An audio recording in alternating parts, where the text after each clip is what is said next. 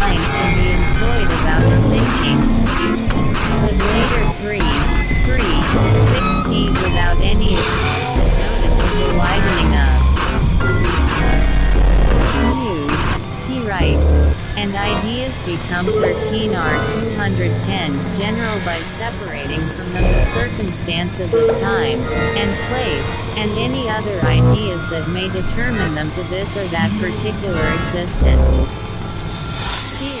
For Locke, the operations of the mind originate from ideas, determined, to particular existence. This is a fundamental principle with Locke. It is a casual concession to the habits of language with Hume, and it is a fundamental principle with the philosophy of organism. In an earlier section 2,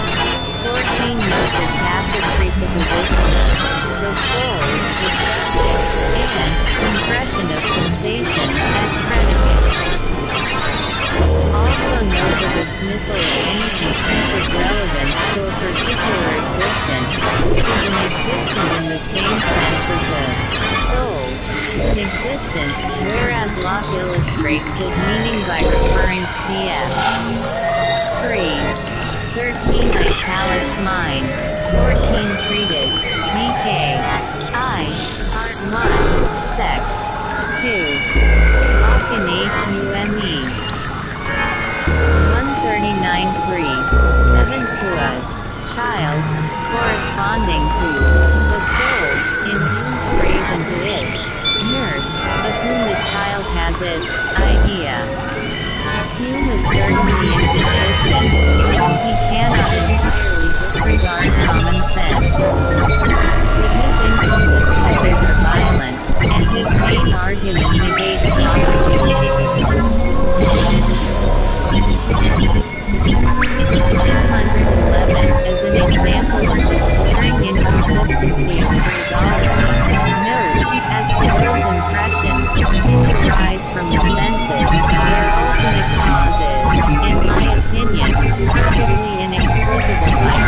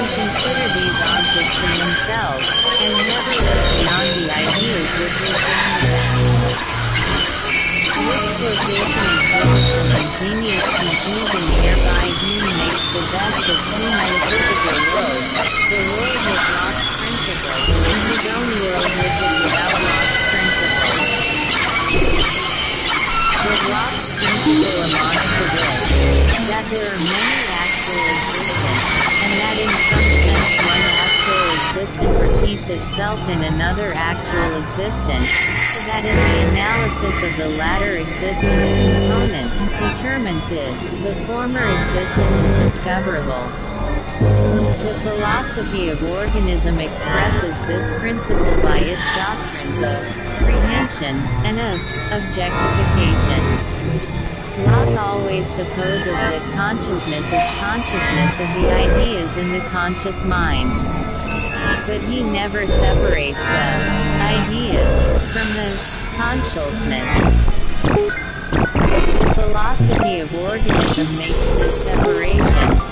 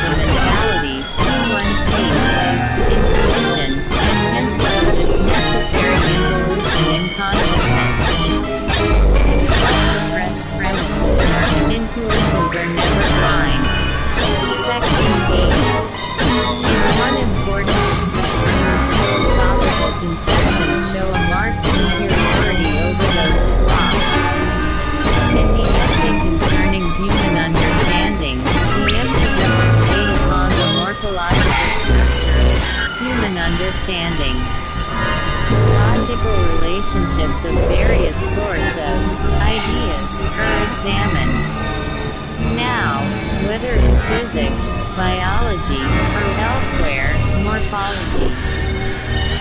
15 Treatise, DK, I, R3, Sec. D, D, also Sec. P, T16 Critique of Pure Reason, Transcendental Logic, Introduction, Sec. I, T, 140, Discussions and Applications. In the sense of the analysis of logic of relationships, constitutes the first stage of knowledge. It is the basis of the new, mathematical, method which Descartes introduced.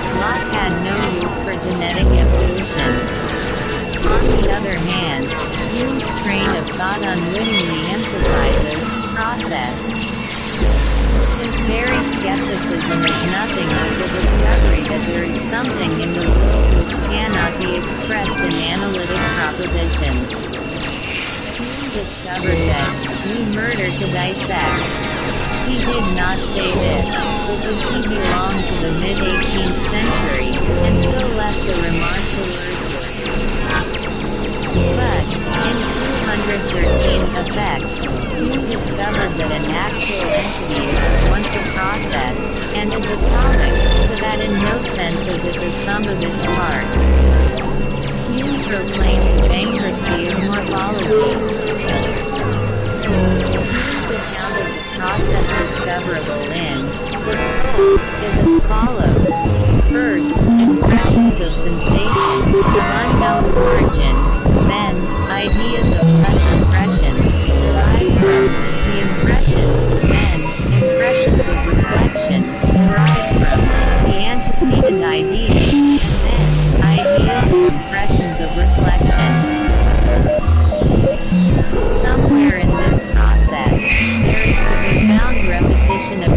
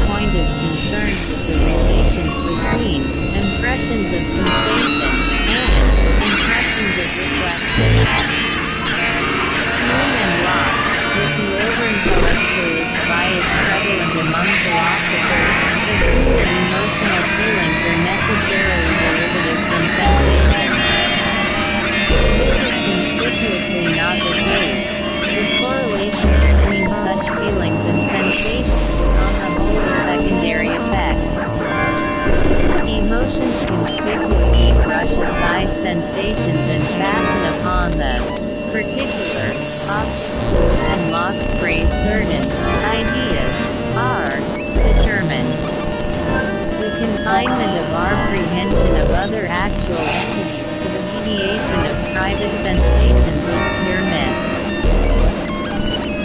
First doctrine is near the truth. The more primitive mode of objectification is via emotional tone, and only in exceptional organisms does objectification, via sensation, supervene with any effectiveness.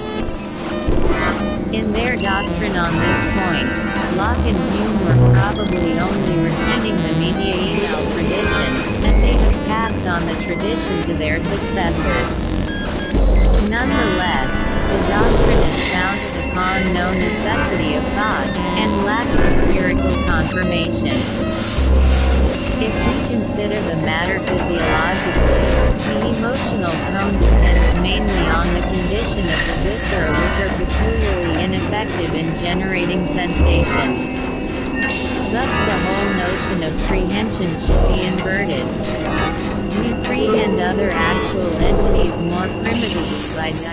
mediation of emotional tone, and only secondarily and waveringly by direct mediation of sense.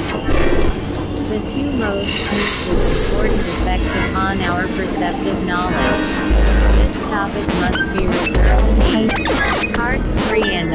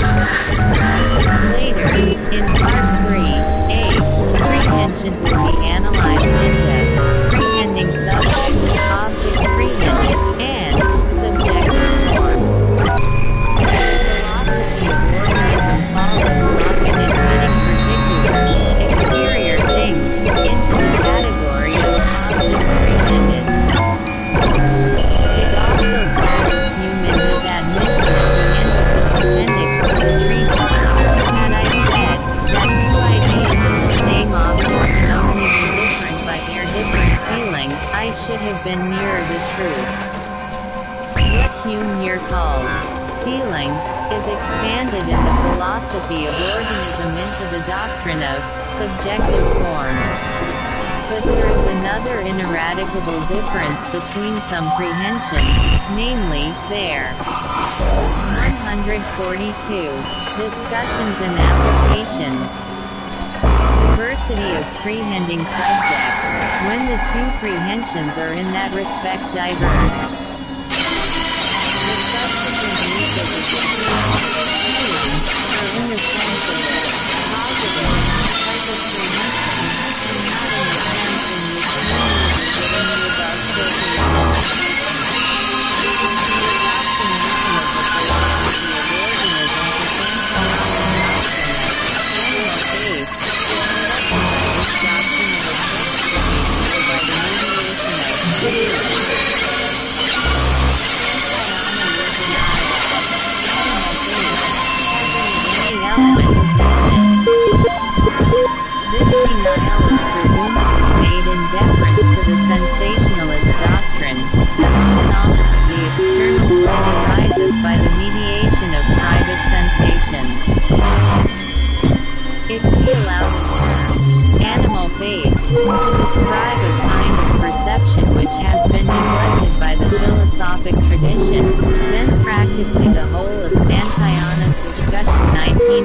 19 is in accord with the organic philosophy.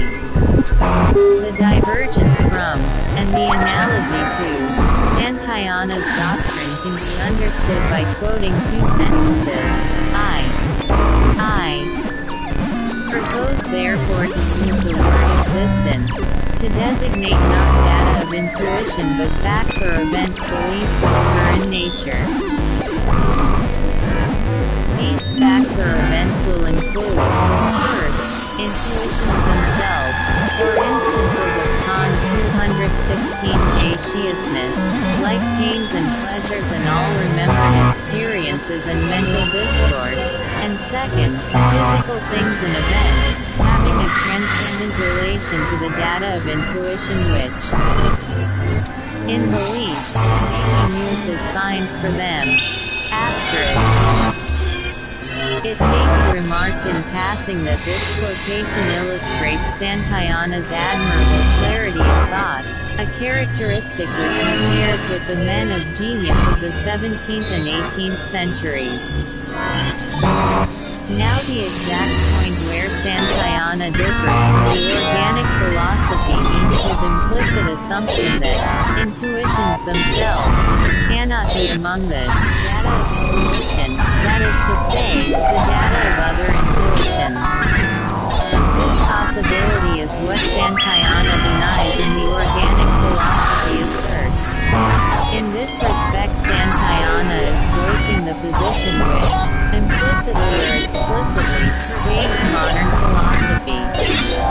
He is only distinguished by his clarity of thought. If Santayana's position be granted, there is a phenomenal veil, a primitive fragility associated with action and valuation, and the mysterious symbolism from the veil to the realities behind the veil. The only difference between such philosophers lies in their reading of the symbolism, some more and some less.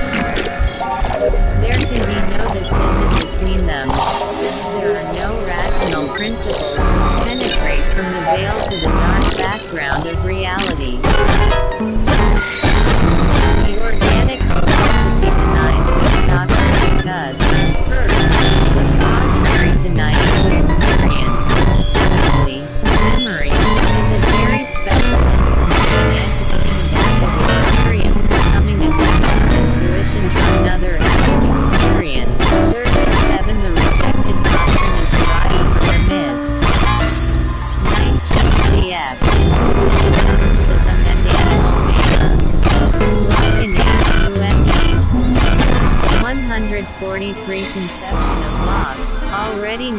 previously, cf.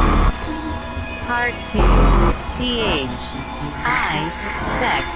B. That logical simplicity can be identified with priority in the concrescent process. Locke, in his first two books, he attempts to build up experience from the basic elements of simple ideas of sensation. These simple ideas are practically Santayanas, intuitions of essences. Santayana explicitly, 217J repudiates the misconception, but in so doing he knocks away one of the supports of his doctrine. Fourth reason for the rejection of the doctrine is that the way is thereby open for a rational scheme of cosmology in which a final reality is identified with acts of experience. Chapter B from Descartes to Kant. Section I. 218 JA comparison of set different ways in which Descartes and Locke respectively conceived the scope of their investigations at once discloses the very important shift which Locke introduced into the tradition of philosophic thought. Descartes asks the fundamental metaphysical question, what is it to be an actual entity? He found three kinds of actual entities, namely, cogitating minds, extended bodies, and God. His word for an actual entity was substance. The fundamental proposition, whereby the analysis of actuality could be achieved, took the form of predicating the quality of the substance in question. A quality was either an accident or an essential attribute. In the Cartesian philosophy there was room for three distinct kinds of change. One was the change of accidents of an enduring substance, another was the origination of an individual substance, and the third was the cessation of the existence of an enduring substance. Any individual belonging to either of the first two kinds of substances did not require any other individual of either of these kinds in order to exist. But it did require the concurrence of God.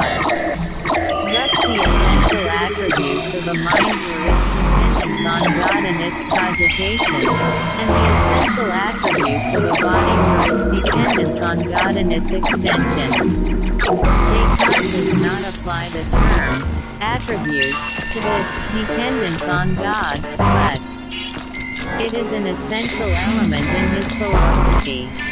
It is quite obvious that the accidental relationships between diverse individual substances form a great difficulty for Descartes. If they are to be included in his scheme of the actual 219 world, they must be qualities of a substance. Thus a relationship is the correlation of a pair of qualities, T1 belonging exclusively to one individual, and the other exclusively to the other individual. The correlative itself must be referred to God as one of his accidental exactly Descartes' procedure in his theory of representative ideas.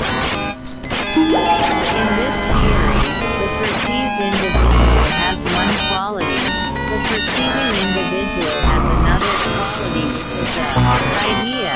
Representing this quality, God is aware of the correlation, and the perceiver's knowledge of God guarantees for him the veracity of his idea. It is unnecessary to criticize this very artificial account of what common sense believes to be our direct knowledge of other actual entities. But it is the only account consistent with the metaphysical materials provided by Descartes, combined with the assumption of a multiplicity of actual entities. In this assumption of a 144 from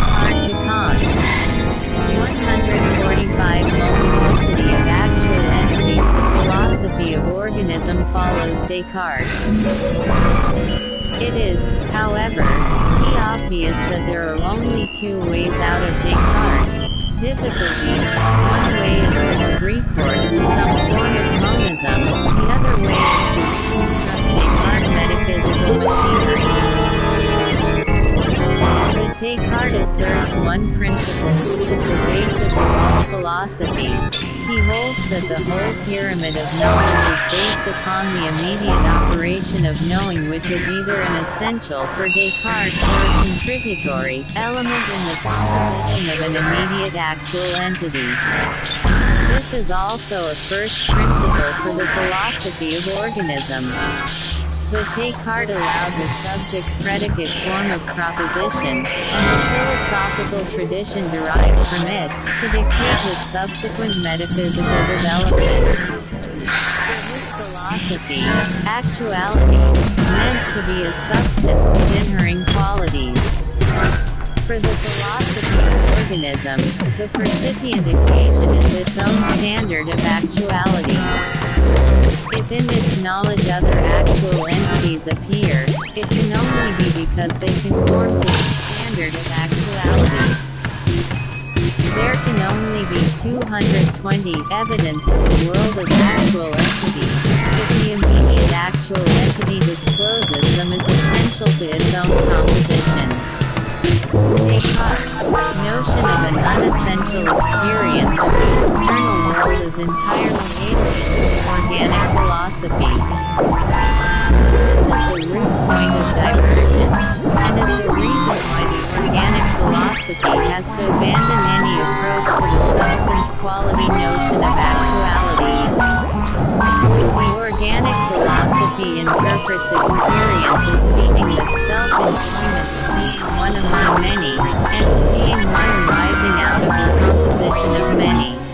Descartes interprets experience as meaning the self-enjoyment, by an individual substance, of its qualification by ideas. T. Section 2.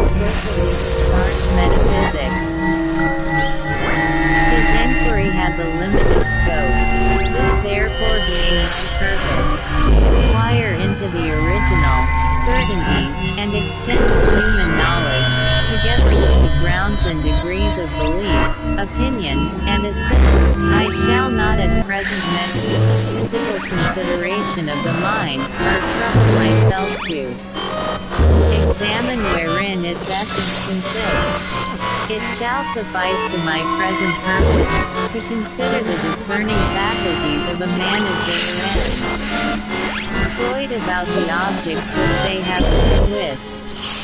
One the enduring importance of Locke's work comes from the candor, clarity, and adequacy with which he stated the evidence, uninfluenced by the bias of metaphysical theory. Of stating plainly, and not in the more usual sense of explaining away. By an ironic development in the history of thought, Locke's successors, who arrogated to themselves the title of empiricists, have been chiefly employed in explaining away the obvious facts of experience in obedience to the a priori doctrine of sensationalism, inherited from the philosophy which, what say, I, I, 146. Page 5. Locke's essay is the invaluable storehouse for those who wish to 221 confront their metaphysical constructions by